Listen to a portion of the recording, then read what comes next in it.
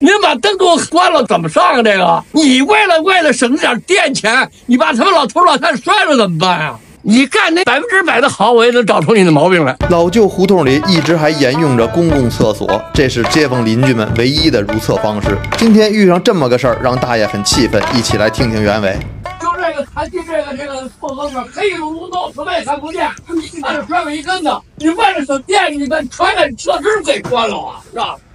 他摔一跟头，这个月用电用的太多了，这公共设施你让他把电给给关了，什么也看不见。啊，您别生气，我马上跟组里汇报。我在这儿站着呢，那组长说这保洁员这上个月花了多少电电钱，这个月花了多少电钱？这是公共设施，是不是？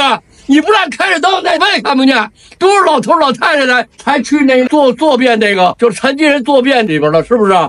您把灯给我开关了，怎么上啊？这个，你为了为了省点电钱，你把他们老头老太太摔了怎么办呀？是不是？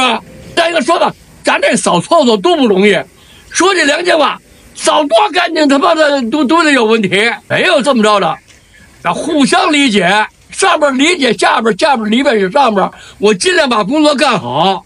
对对，上边人那就是你干多少都给挑挑你的事儿，不是这儿了就是那儿了，哎不对，是不是？对班长，对班长是为了他啊，怕人家人举报也好，干什么也好。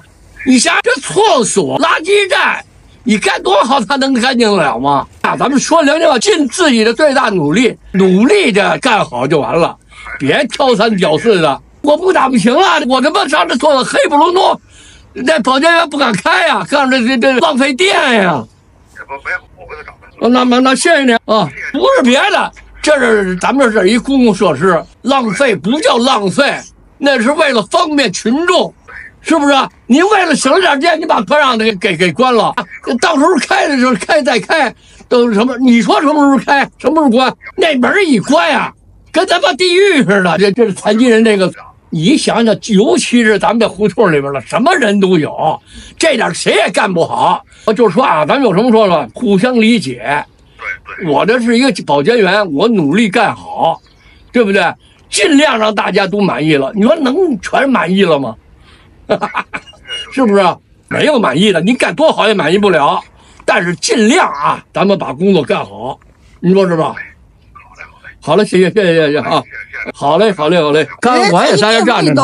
电费他说什么你知道吗？呃说电费啊太多，公共设施，那咱们这有什么说吗？对不对？